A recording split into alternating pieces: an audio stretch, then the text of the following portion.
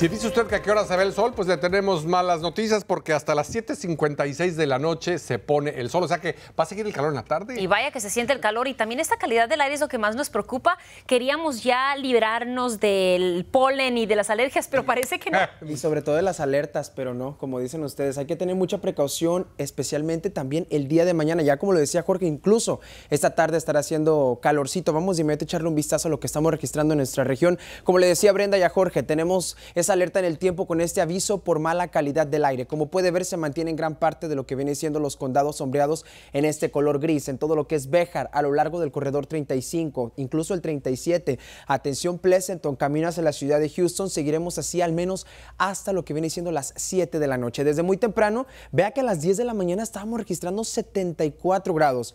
No obstante, a la 1 de la tarde llegábamos a los 87. A esta hora de la tarde estamos registrando los 95 grados sensación en gran parte de la frontera. En porciones de San Marcos nos quedamos en los 90. Además del calor, es importante que sepa que ya tenemos la posibilidad de tormentas. ¿Para cuándo específicamente? Más adelante yo vuelvo con eso y más.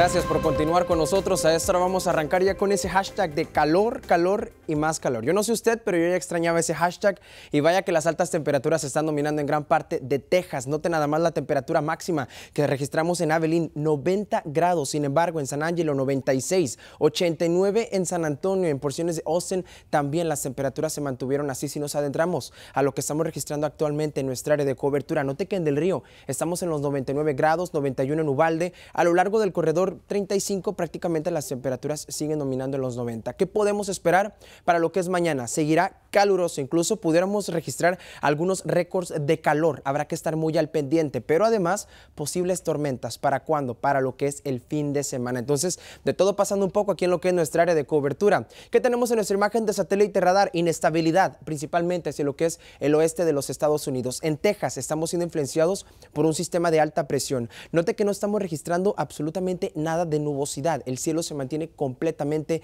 despejado. Como le dije, el día de mañana a las 6 de la tarde, atención, principalmente en la franja fronteriza pudiéramos experimentar temperaturas de sensación que pudieran llegar hasta los 102 grados, 91 en porciones de San Antonio. Sin embargo, ya para lo que son porciones del jueves estará mejorando el panorama. Ahora, echémosle un vistazo a lo que es nuestro monitor de sequía, porque hasta el momento, de acuerdo al Servicio Nacional de Meteorología, note que hacia lo que es Crystal City, Uvalde y Pearsall, ya nos encontramos en ese modo severo. Entonces, prácticamente la lluvia será muy bien recibida para lo que viene siendo este fin de semana. Nuevamente tenemos un 50% de probabilidad de tormentas que ayudará gran parte de nuestra región. Con esas temperaturas que estarán en el rango de los 80, las mínimas en los 61, el domingo seguirá nublado, sin embargo ya no estaremos registrando absolutamente nada de lluvia. Así que Jorge y Brenda, su botellita de agua y una cosa que decía muy importante Jorge ayer era agua con una pizquita de sal. Claro, eso es, es un suero maravilloso y rápido y práctico, ¿no? Buen consejo. Y cuidado si va a correr o a hacer ejercicio durante estas el horas. Polen y también tenemos esa alerta en el tiempo, hay que tener mucha precaución. Pero estar en contacto con la naturaleza también es importante. Gracias, Gabriel. Gracias, Gabriel. Gracias,